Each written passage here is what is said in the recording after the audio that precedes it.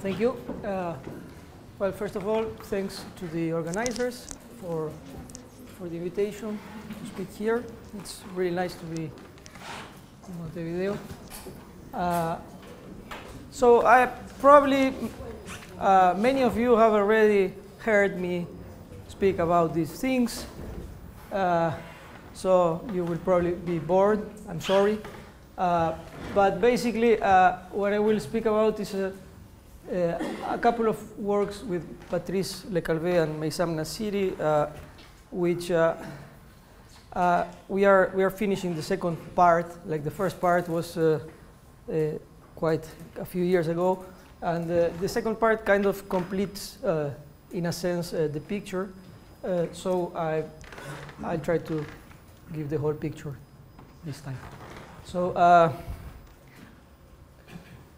so the, the, the, general problem that we are interested in is, uh, is the following. We have uh, a surface, orientable, and uh, a homeomorphism, which uh, preserves orientation.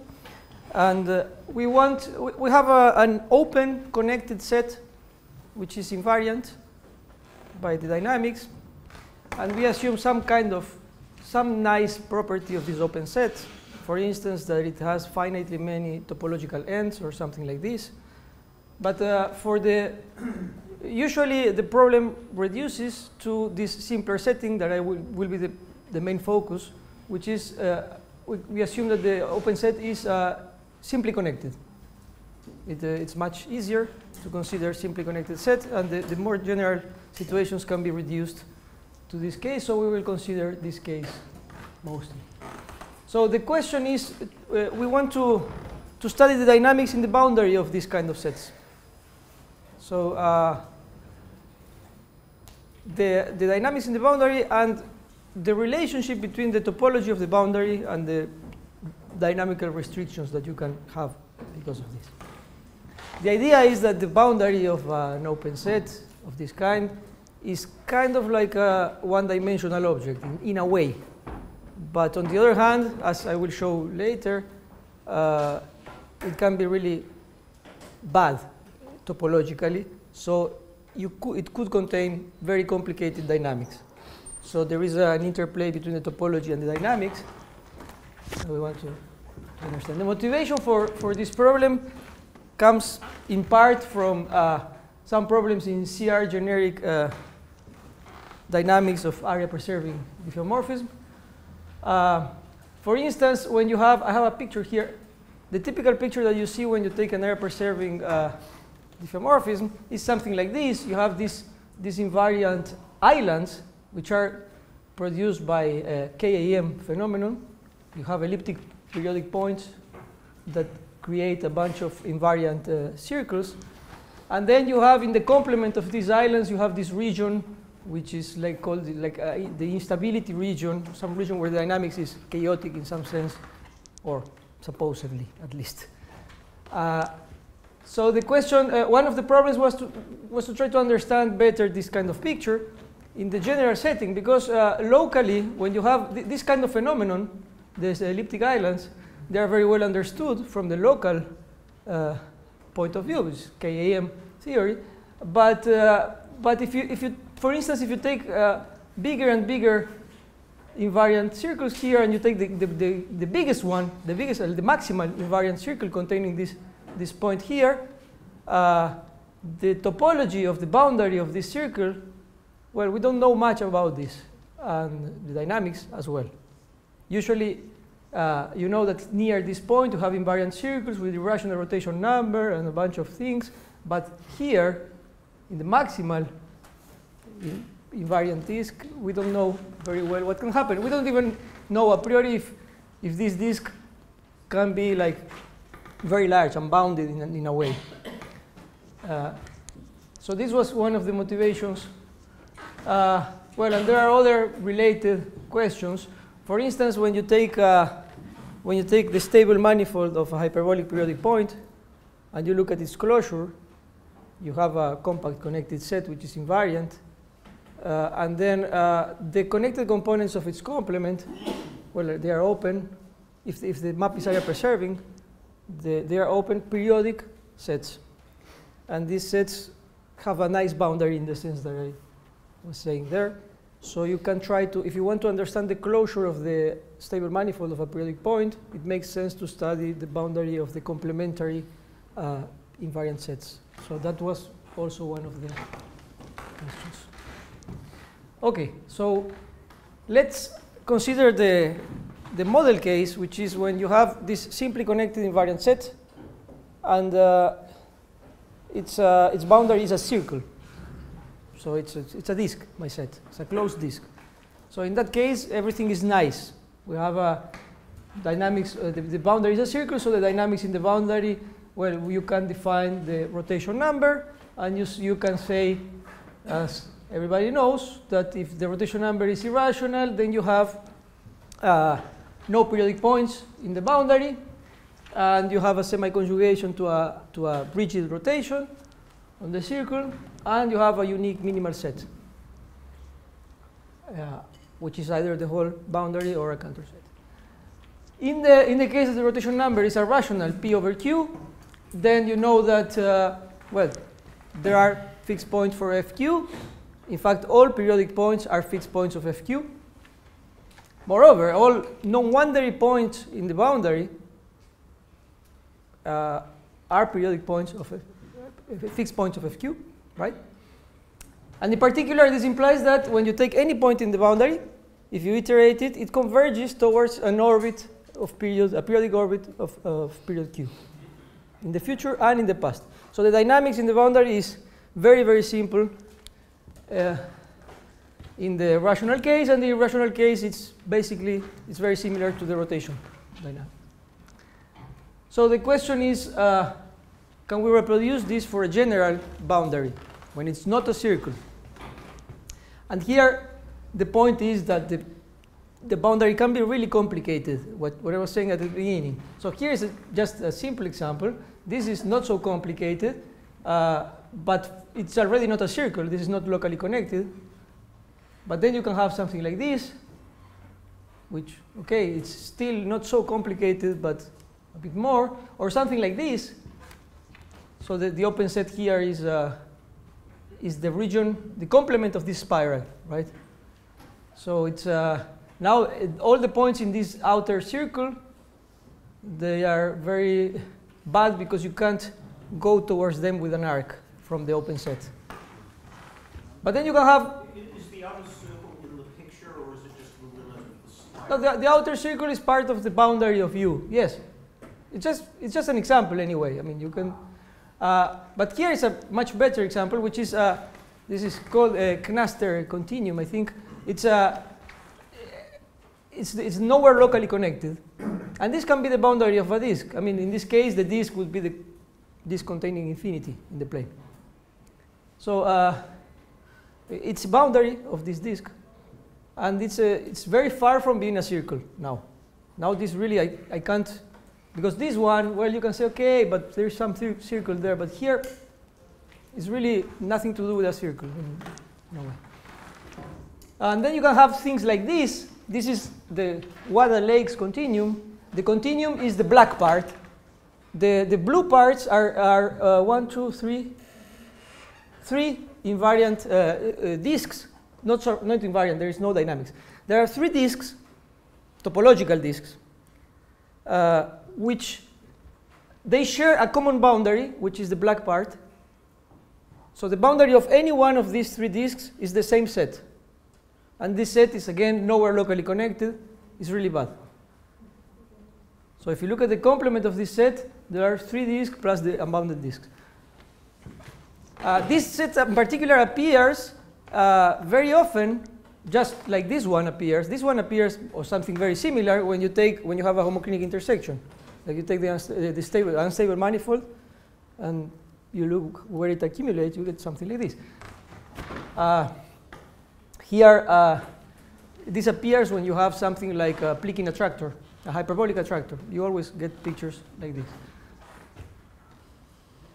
Uh, you can, if you are on the torus, you can have something like this, where, where the, the open set is the black thing, the, the dark thing, and it spirals accumulating on something which lo locally looks like a Cantor set times an interval. Uh, also very far from being a, a circle. So that's the point. I mean, the point is you can't just say, okay, I will define a rotation number and reproduce what we do in the circle because the boundary can be very different. Oh, here's the, the, the, one of the worst things that may happen in a way, which is the pseudo-circle, which is a, a, a, a, compact connected set, which is the boundary of a disk, but it's, uh, it's not only nowhere locally connected, it's also uh, it doesn't contain any arcs. So whenever you have a continuous function from the interval to this set, it has to be constant. So it's really bad uh, from the topological uh, side, locally at least. When you, when you zoom in, you always see things like this. You zoom in more, you see things like this. There's nowhere, you can't find an interval in there. Okay. So what do we do? Uh, how do we define? yeah. Sorry? All of this, so the, the, this one, the Wada lakes, it's a, it's a Plykin attractor. So it appears as a hyperbolic attractor. This one also appears dynamically, and this one can, can also be realized. Uh, there are, I mean, there is a construction by, uh, by Handel, and also an example of uh, Michel Herman, uh, where they do it like an attractor or even as an area preserving invariant set for Which this this thing? No, the previous one, the one This one. the basin of a. Uh, yeah, why not? I mean. Uh, so not only three, you can put more and more doing the same. you can put more and more doing this. Oh yeah, in, uh, you mean instead of three, to you can yeah, as many as you want. Yeah, sure. Yeah. Yeah. Okay. Uh, no, the, the, the, the, interesting thing about this kind of object is that they appear robustly because they appear as, as hyperbolic attractors, for instance. So they are not like pathologies. They are something that uh, you can't avoid, and in any degree of smoothness. Sorry. last example. I don't understand. This one? Yeah, it says you have no local. So uh, maybe uh, something. It's an open disk, right? It's. It's an open disk. Yeah, it's an open disk. any curve in two points must be constant. No, no, but this is the boundary of the disk. The in the boundary of the disk, you cannot find any arc contained there. Any image of an, uh, of, a, of an interval. Uh, okay, so uh, how, how do we define a rotation number? So the trick is to use the to use a compactification which replaces the boundary. So you take the, the open disk and you the, the, boundary may be very bad, but you can ju you just replace it by an artificial boundary, which is nice, which is a circle. And if you do it right, the dynamics extends to this compactification, and then you have a circle homeomorphism, and you can define a rotation number.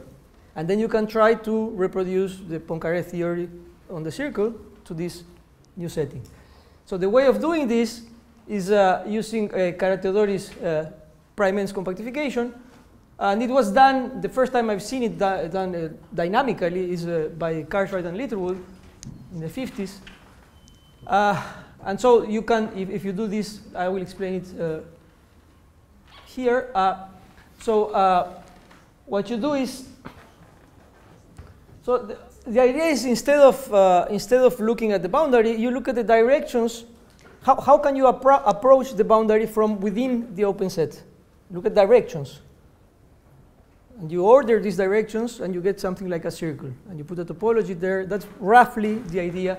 So the, uh, what you, there are two ways of defining this formally. There is a, dirty way, which is just using the uniformization of the disk. You just take the, the, the, the you have the disk, which can be very complicated, but and, and you have the nice disk, and you have a map here, which uh, a Riemann map, uh, so you have a dynamics here. And if you conjugate by this map, you get a dynamics here. And this dynamics, you can show that always, as long as this map is defined in the closure of U, in this, in this bad boundary, uh, you can always extend this map to the to the circle here using a conjugation. So it's, a, it's just a change of coordinates. So this gives you the nice boundary. Just forget about whatever is outside of you, and you look at it on these coordinates, and you look at the closure. That's it. And the map extends. So do the prime ends correspond to the points in the circle on the right? Here, yes. Yes, the prime ends will end up corresponding to these points here. Yes. But this is this is absolute. I mean, this is artificial. I'm, uh, I haven't. I mean, I, I am defining prime ends in this way. So yes, but there is a more topological way of defining the prime ends, which is usually more useful. Uh, just just a remark is that, of course, this map doesn't extend to the closure here because this this uh, this boundary here is uh, maybe not locally connected, and this is locally connected. So you can. Uh, but the point is that this, the dynamics, does extend to the closure. Uh, so the, the topological way of defining prime ends, which is the more useful one, is uh, to do it. I will choose a marked point here, just to simplify. I mean, we don't usually do this, but it's it's easier if I do this. I just fix a point here. Uh, and I will define some, some things. So a crosscut, a crosscut of U is just an arc joining, uh, joining two points of the boundary of U, and which is otherwise completely inside of U. Just the endpoints are in the boundary, and the arc is inside of U. So this is a crosscut. And then a cross section is one, is one of the half halves this, this thing divides U into two halves. So I will denote by d of alpha the cross section, which is the one not containing p. That's why I chose p, just to have a, a reference. So this is the cross section d of alpha. And then you can order these cross sections. If you have another, if I have another uh, crosscut here, and I have d, this is alpha prime, d of alpha prime, then you say that alpha prime is smaller than alpha because d of alpha prime is contained in d of alpha. So this gives you an order between, between uh, crosscuts by looking at the corresponding cross sections, a partial order. So the nice thing is that, well, of course, crosscuts are mapped to crosscuts by the dynamics. Everything is nice. And so uh, uh, to define a prime end, what we do is we look at nested sequences of, of crosscuts of, or cross sections. So you just take you take a, a crosscut here, a smaller one here, smaller one here, and so on. And you look at the corresponding cross sections. And you require that the diameter of the corresponding crosscuts goes to zero. And you look at this chain of cross uh, of crosscuts uh, modulo some relation because you will have many ways of representing the same object. I will show a picture uh, soon, but uh, the relation is the following. I will say that two chains of crosscuts are equivalent if, it, if they have the property that whenever I fix one element of one of the chains, the elements of the second chain are eventually inside of this one, and vice versa. Because they go, they go towards the same direction in some sense. So in a picture here, so these are this is a chain and uh, this is an equivalent chain. They define the same thing. But of course, this is, a, this is a part where the boundary is nice. Here is a part where the boundary is not so nice, but here is a chain, and this defines a prime, end. the diameter goes to zero, so it defines a prime end. But you can see here that prime ends don't correspond to, uh, to points of the boundary necessarily. Because here, what would be the point of the boundary corresponding to this, uh, to this chain? you have a whole segment here that you are accumulating in. So it's a, and there, there are more complicated things, but I can't show nice pictures of them. So this we have to do. So the point is, you, you define the space of uh, the set of prime ends as the set of all chains of decre uh, decreasing chains of, uh, of crosscuts uh, modulo this equivalence relation.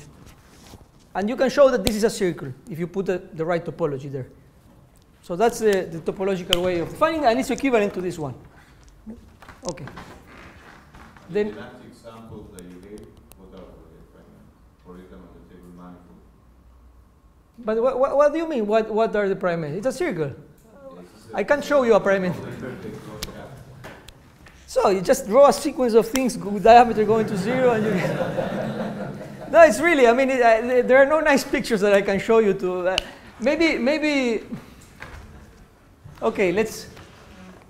You mean here? Well, here, here for here you can I can show you like here you have some channels. So you see, the, the, for instance, the darker circle it, it has like a tongue that goes and spirals and accumulates everywhere. So this tongue it will correspond to one prime end in a way because you can choose a sequence of increasingly uh, smaller uh, crosscuts which goes away towards the tongue and then you, this defines one prime end. But but this is an easy way. Here it's harder to, the, to find an image of what a prime end is. Okay.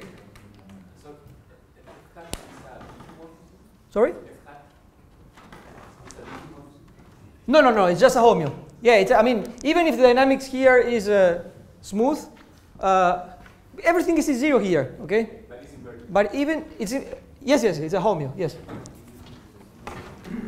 Yeah. In fact, there's a nice thing that here, if the dynamics is holomorphic, then here, here it's uh, uh, it- it's holomorphic as well. That's that's a nice thing about the. But So, sorry, uh, for the definition of uh, prime end, what is going the diameter? Is the diameter of alpha of the cross section? Is the diameter of alpha is that goes to zero. If you look at the cross section, it can be really huge. It can be that for all the cross cuts, the cross uh, cuts, the, the corresponding cross sections are huge, and you can't avoid it. Yeah. Yeah. If you intersect all of them, d- does that intersection? The intersection of the cross sections. Yeah, yes. Well, it, it will be empty, but if you take the closures and you intersect, it could be that you always get the whole boundary, for instance. This is what happens in the pseudo circle. So it's really, it's really bad. Yeah. Uh, so the problem is now that we defined the, the prime ends, so you have a dynamics on the prime ends because uh, F maps sequences of crosscuts to sequences of crosscuts. Everything is nice, so you induce a dynamics in the prime ends. You can define a rotation number there.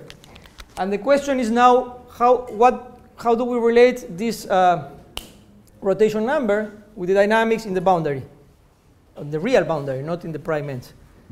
So, uh, for instance, the first, the basic, first basic question that you can ask is, if the rotation number in the prime ends is zero, then do you get a fixed point in the boundary? And well, in general, in general, the answer is no.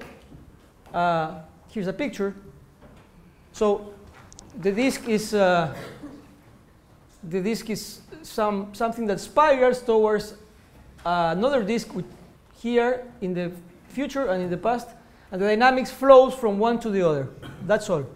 It's just like a translation, but this is a rotation, uh, rotating disk. This is a rotating disk, and here the dynamics flows from one to the other. And my disk U is this smiley thing.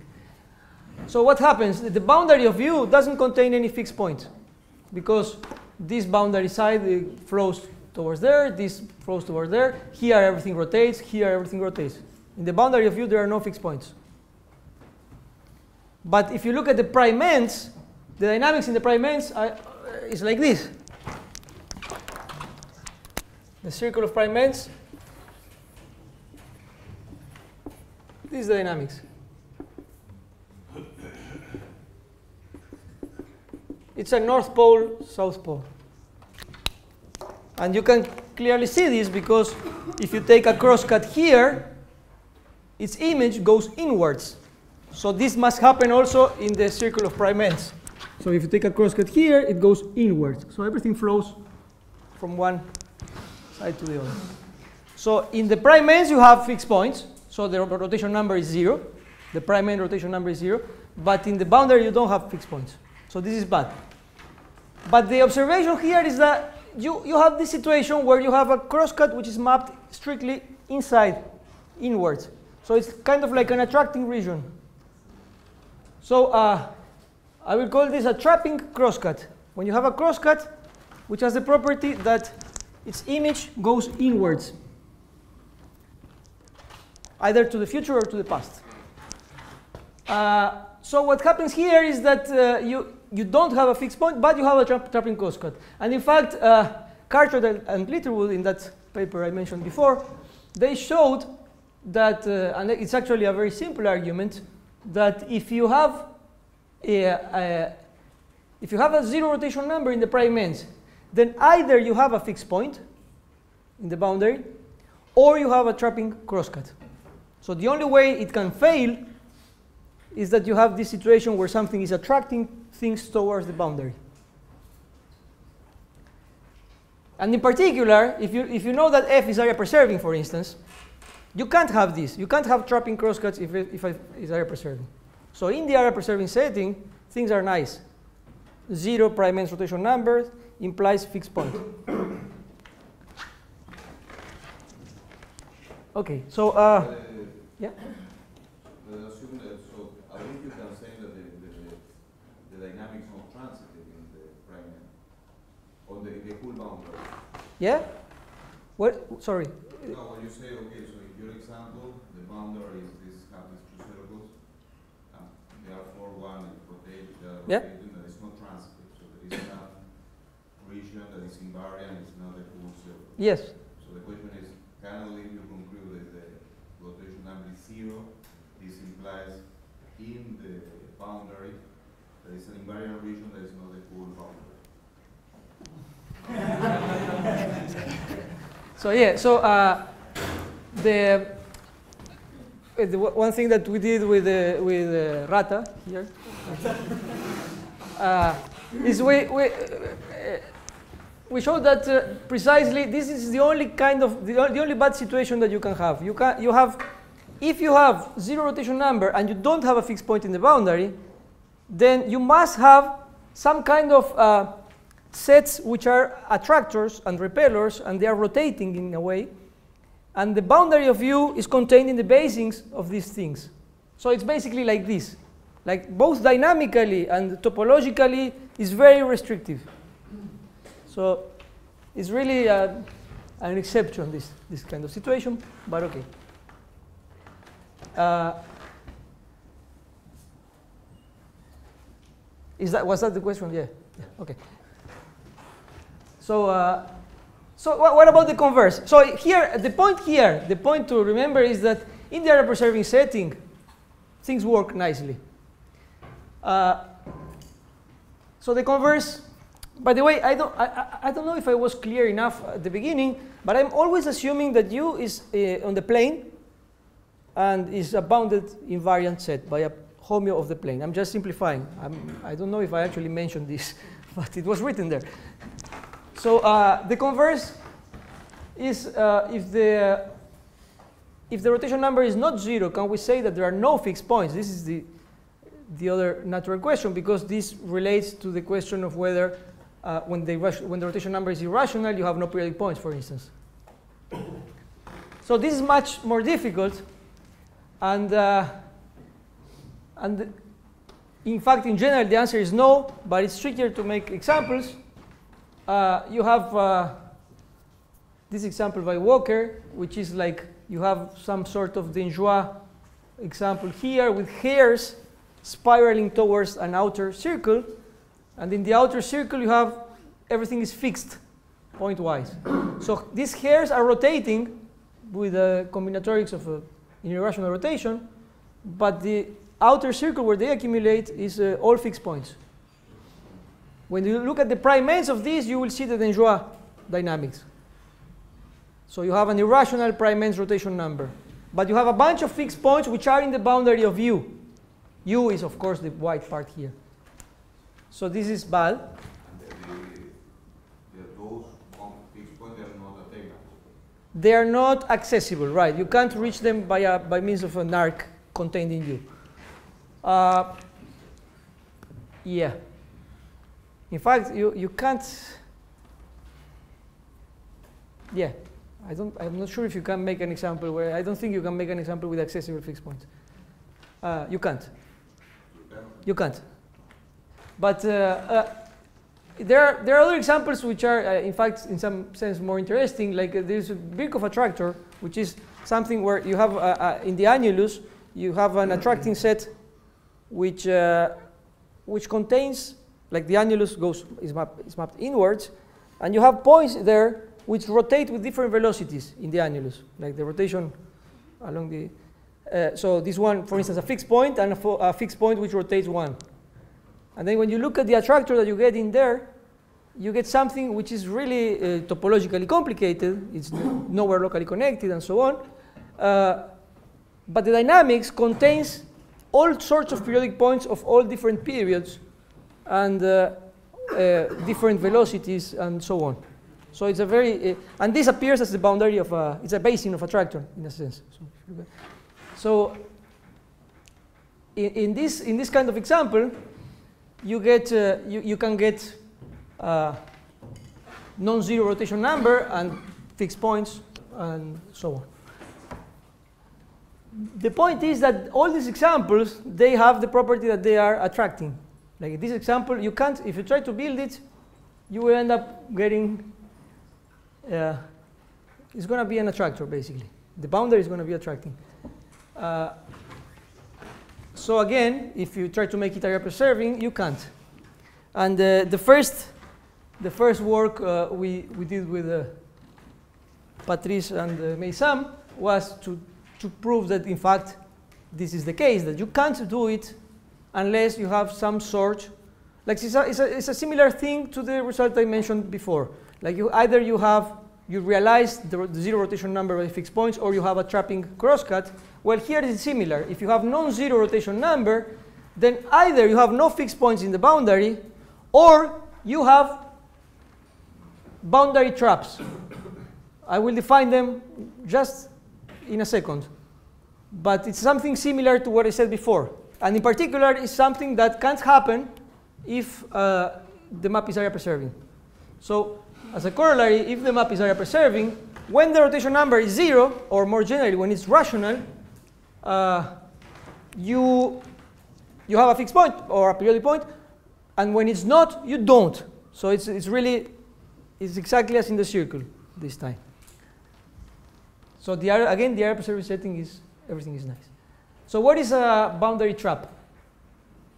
So uh, it's a similar, it's similar to the notion of trapping crosscut, but of course you can't have a crosscut that is mapped inwards if the rotation number is not zero. Because of course, if you have, if you have something here that is mapped inwards, then you will have a fixed point in the boundary circle. But, uh, but then, okay, boundary trap is just a union of crosscuts such that the region they bound is mapped strictly inwards, either to the future or to the past. Basically, it's that, with some technicalities there. That's in particular, of course, this is not compatible with being area preserving because it means that you are attracting something towards the boundary. They can be wandering. You can't be non-wandering, in fact, yeah. It could be wandering. Uh, this, this thing could be wandering, yes, or not, but uh, yeah. But, it- but the point is, it implies that arbitrarily close to the boundary, there are wandering open sets, for instance. So it's very, it's kind of restrictive in a, in a way. So uh, we say that the map satisfies the boundary condition in U if there are no boundary traps for any power of the map. In particular, if F is area preserving, it has the boundary condition. Or if it's non-wandering or something like this, it always has the boundary condition. And another case, uh, th- this is uh, the nice thing about this is that the boundary condition also holds, even if you don't assume any kind of area preservation or anything like this, but if you assume that uh, the map is, for instance, holomorphic, as I was mentioning before, and the rotation number is irrational, then you automatically have this condition by completely different reasons. So it's not necessarily a condition that is guaranteed by uh, recurrence or area preservation. It could be, it could come from something else. So the point is, putting things together, is that if you assume the boundary condition, then the sorry. It's not holomorphic, so it's have to be rational maps. Have to be rational maps. No, no. No, if you have a holomorphic map with an invariant disk, which is which is uh, it has to be uh, uh, invertible in the, the yes, Okay. yeah, yeah. Yeah, but this was happening in, when you have a Siegel disk and the, Ah, yeah, so um, uh, putting things together, you have the, the nice picture for the area preserving setting, for instance. You have that there, if the rotation number is rational, you have a periodic point only of period q, exactly as in the previous case. And if it's irrational, then you have no periodic points. Uh, but of course, in the circle, we had a lot of extra information. We know in the irrational case, you have a semi-conjugation. In the rational case, you have this thing about all orbits converging to the, dynam the dynamics being very simple. And so uh, you can ask whether the same things hold, assuming this boundary condition or area preservation. And in general, you don't, in the irrational case, you can't expect to have a semi-conjugation to an irrational rotation. Uh, for instance, the, the pseudo the pseudo circle, the examples with a pseudo circle with the irrational rotation number, the Handels example in particular, uh, it's not semi-conjugated to an irrational rotation, but uh, but in some cases you can you can uh, with some topological condition which is a bit strong but not so strong, you can uh, you can get the semi-conjugation. So we, we, some partial result in this direction uh, was done by Tobias Jäger and myself, but I won't get into these uh, details. And uh, then uh, you can ask whether, when the rotation number is rational, you know that the dynamics in the boundary is trivial in the sense that everything flows from periodic points to periodic points. So in the case that is holomorphic is. No, no, even in the holomorphic case, you don't have that. No, no. You don't have a semi-conjugation. I mean, in general, you don't. The, if you, are, do you mean, are you talking about this thing? No, this has nothing to do with being holomorphic. This, has, this is a topological condition in the boundary. No, the question is, the, no, the, the rotation number is not rational. Yeah? If there is some kind of, Semi-conjugation, no. Even if it's holomorphic, no. In general, no. I mean, if you know something about the topology of the boundary, you can, you can sometimes show uh, the, the semi-conjugation, but uh, even in the holomorphic case, you don't have a semi-conjugation.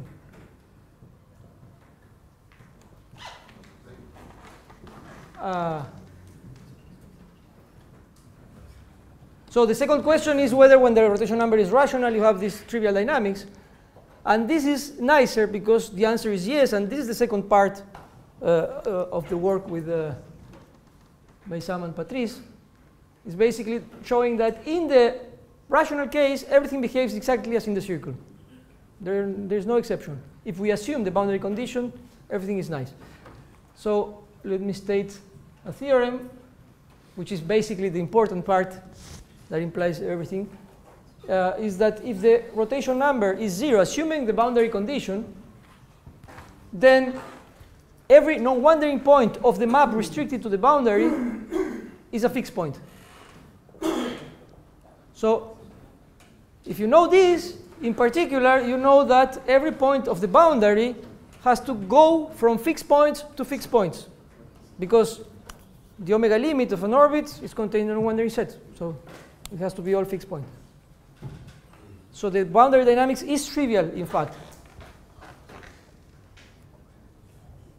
So that's the main theorem, basically. But actually, the theorem is a the, the proof of the theorem goes through some topological uh, result, which is actually the, the, the sense of the, the, of the proof, um, which is a bit tricky to, to state, but I will try to explain the, the uh, basically it says that, so you, you have this open set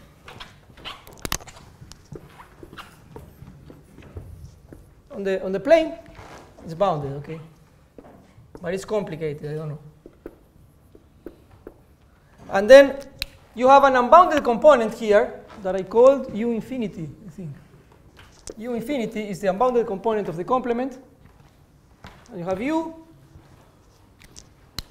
And then uh, what, the, what the lemma is saying is that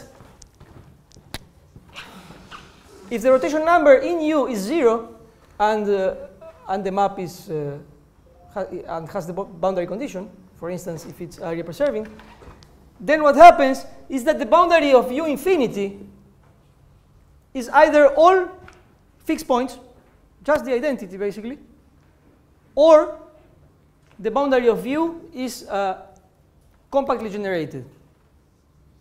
So compactly generated means that if you remove a point from U here and you look at the point at infinity, you are on an annulus, right? You can go to the, you can lift this to the universal cover and look at the boundary of U in the universal cover of this annulus, and you will see something like this. I don't know, this is the lift of U, and this is the lift of the boundary. And in general, this, the lift of the boundary can be uh, disconnected. Even though it's connected here, when you lift it, it can be disconnected. For instance, in the spiral example, this example like this, when you remove a point here and lift it to universal cover, you will see a line, which is this circle here, and a bunch of lines, oops, a bunch of lines accumulating like this.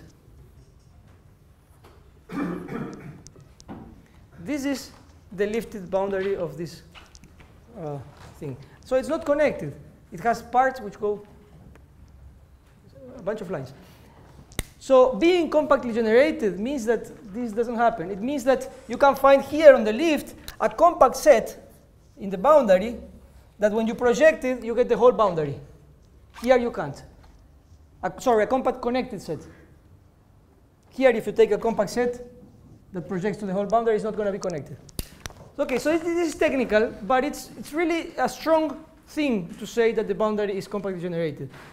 Uh, and it's actually the sense of, the, uh, uh, of why the other result holds, because basically what you do is you use, you take a point which is non-wandering in the boundary, and you use some recurrence properties to show that the boundary has to kind of twist and spiral a lot.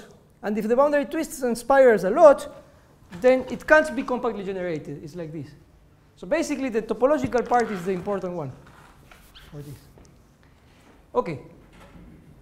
And for instance, a corollary of this topological result, which I find really nice, is that if you take an area preserving map which leaves invariant a pseudo circle, like the Handel example, uh, if you have a fixed point in this pseudo circle, then the whole pseudo circle is the identity. The dynamics on the pseudo circle is the identity. That, to me, that is surprising.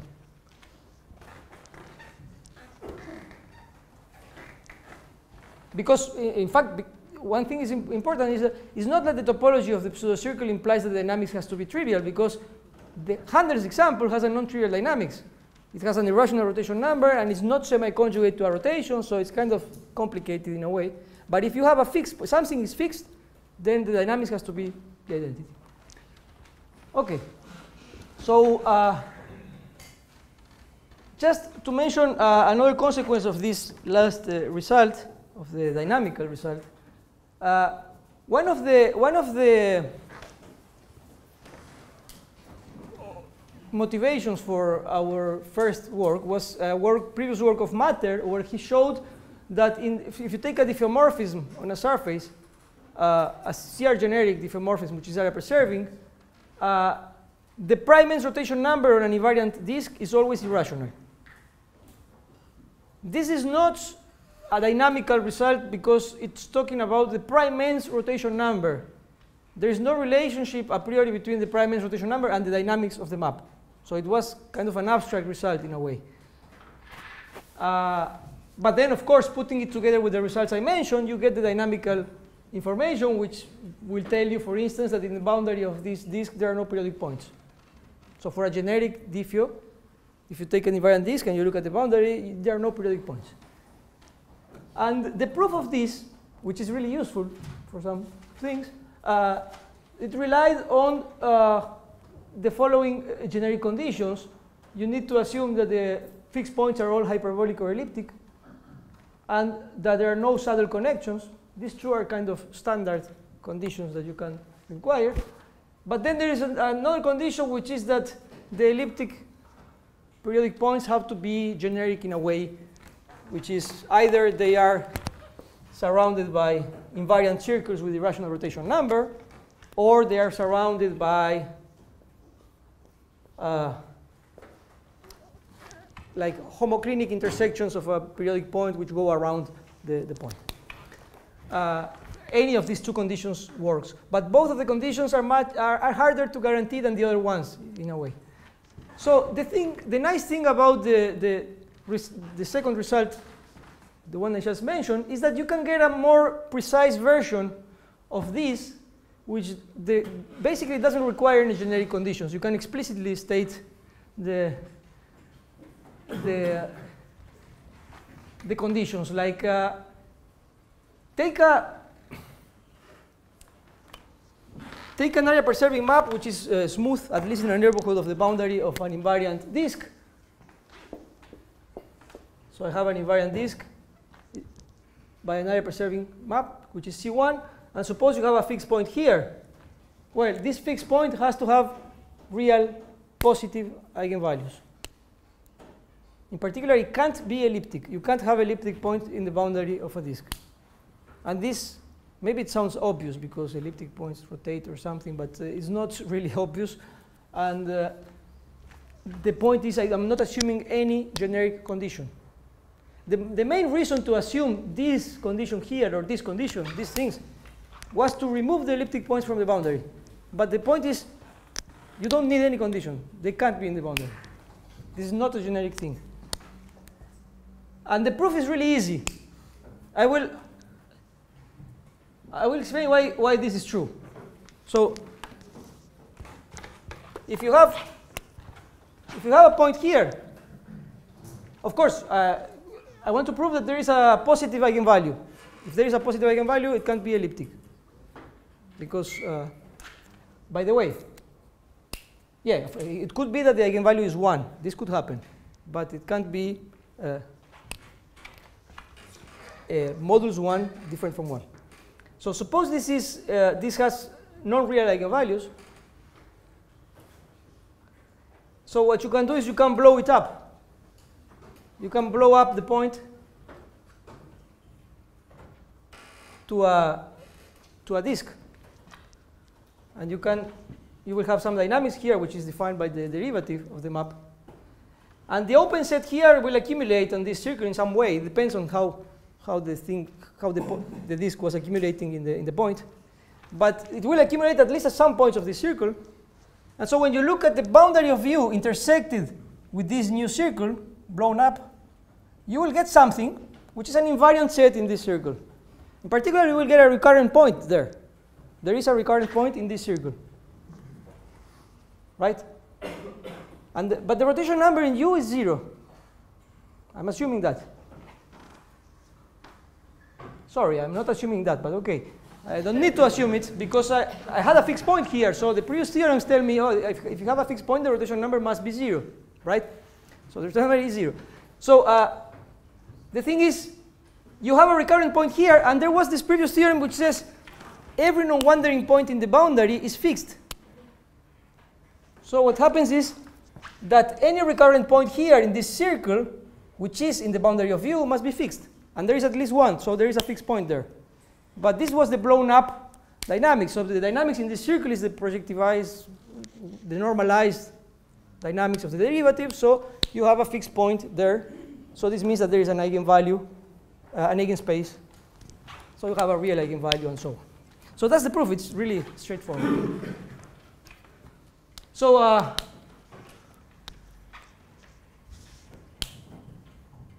so as a consequence, if you, if you assume that the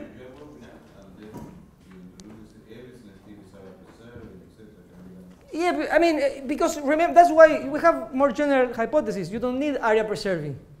You just need the boundary condition. And because the map was area preserving here, even if you blow up and you change things, the inside of you, U didn't change much. It's still, it preserves a, a, a measure which is positive on open sets in U, so it has the boundary condition. Yeah.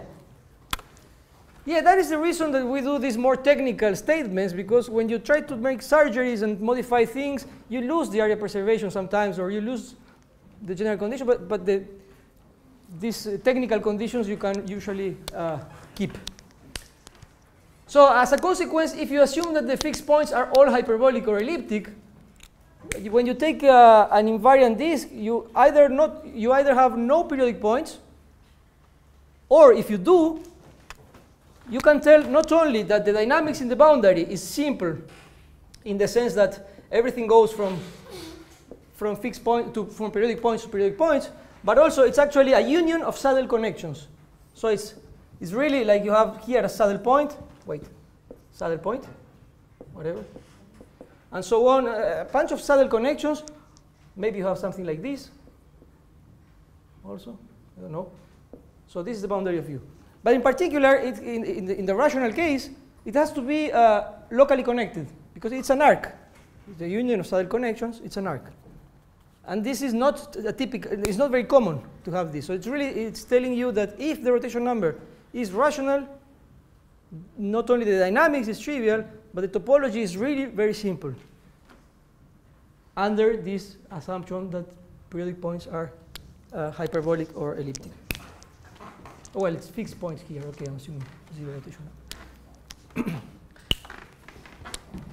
How much time do I have? Like 10 minutes. Okay. So, uh, oh, by the way, this result, this last result here was announced also by Fernando Oliveira uh, 10 years, 12 years ago, but uh, still unpublished. but uh, uh, and the, the, proof is completely different. Uh, the proof he had. Uh, okay. So.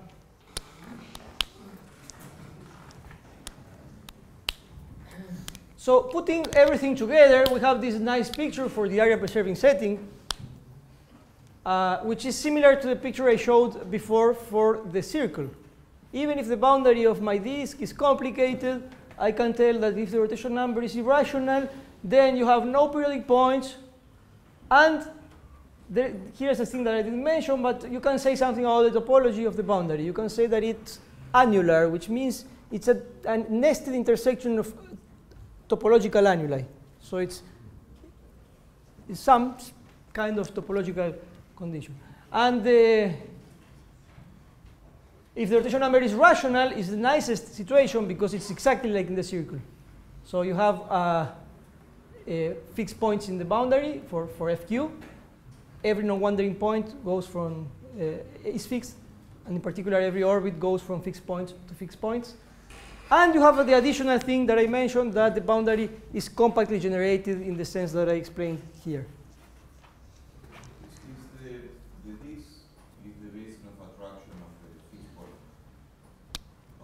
Yeah.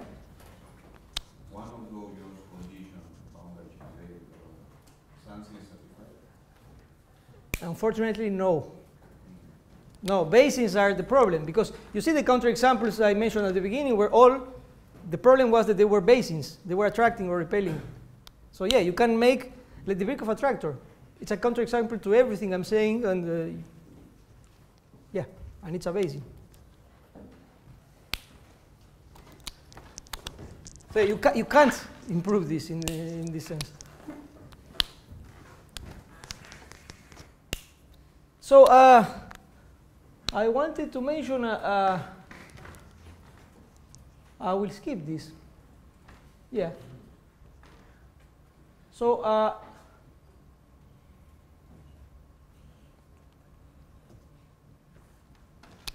so the um, the proof of these results, they rely on, uh,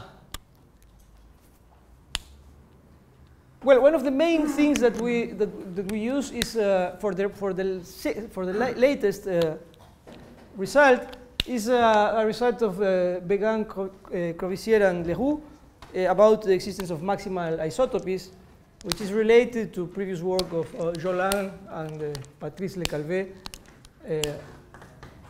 And uh, uh, we use this to precisely to relate uh, what I said before that when you have a point in the boundary that is uh, non-wandering in the boundary, this implies that the boundary has to be topologically complicated, it has to spiral in a way.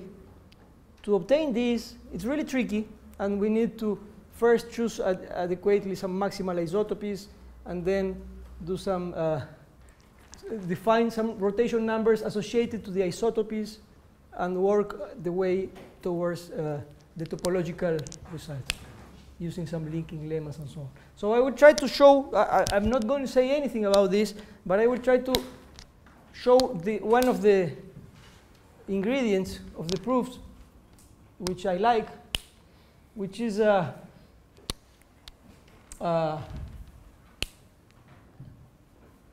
has to do with the shadows of the uh, of arcs. So the, the, the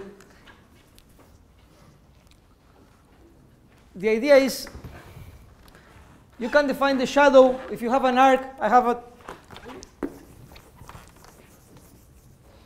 if I have a my disk here and I have an arc, or let's say a loop, not an arc. I can look at the crosscuts defined by this arc. Here is one, here is another. And maybe you have some other one here, I don't know. Alpha 3, alpha 4. When you look at the prime ends, compactification of U, these crosscuts will show up somehow here. Alpha 1, alpha 2, alpha 3, alpha 4, like this. So and we have some fixed point here, reference point. So we define the shadow of this arc gamma.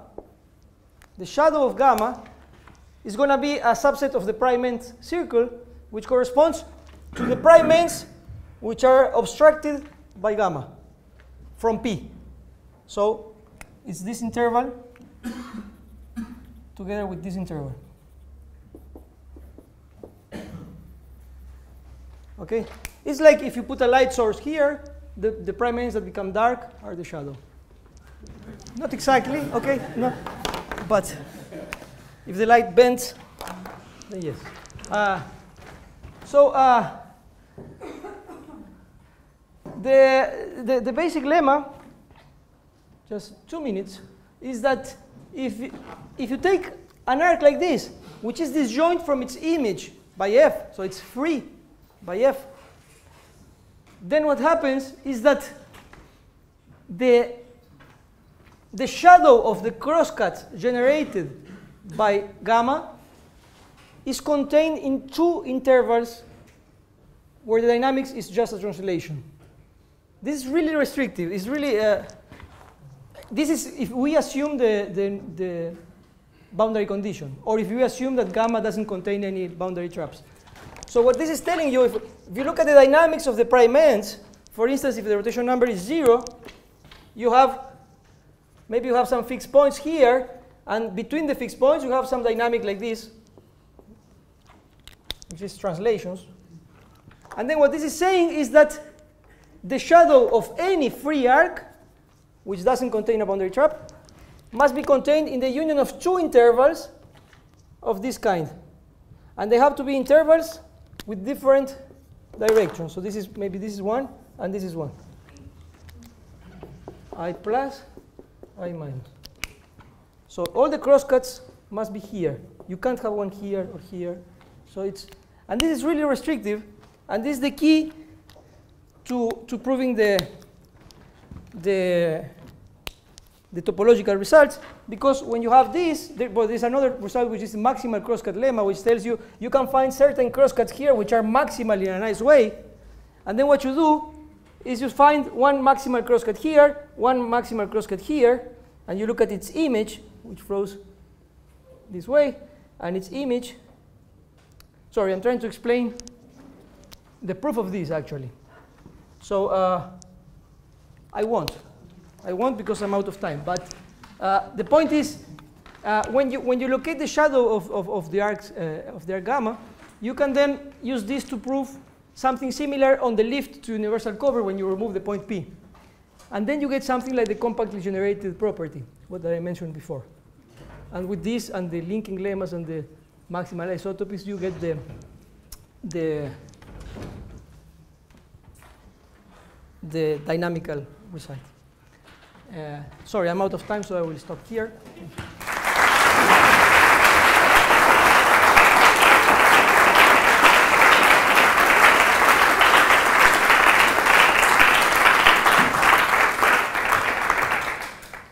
Questions?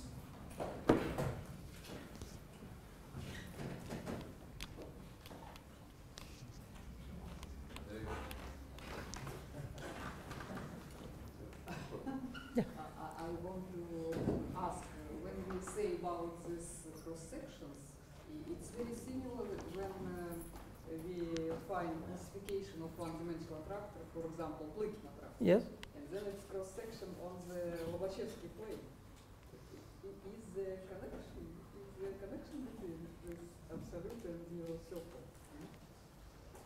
Is- I'm not sure. I've, I've, I've, I don't. I don't think I've seen this uh, for the Plykin attractor. I'm not really sure.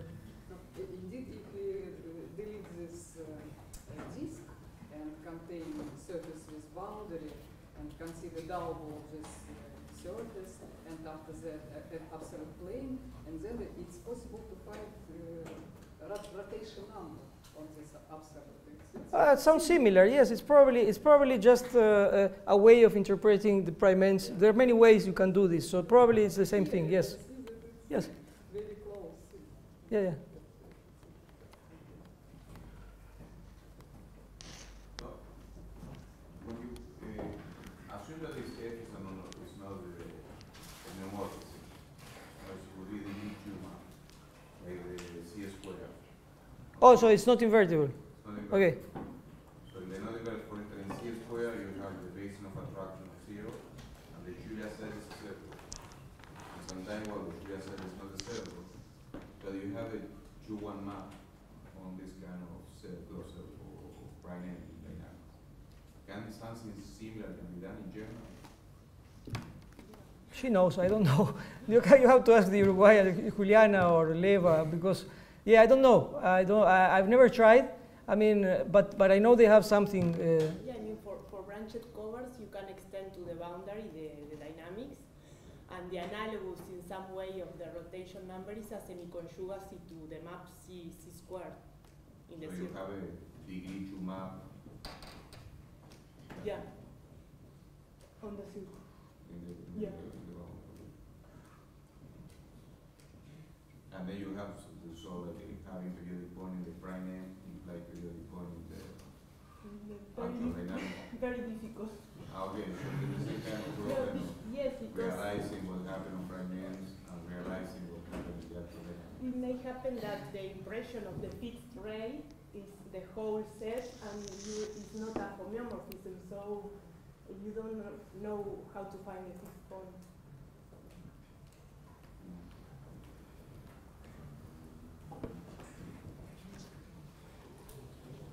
Let's thank Andres again for.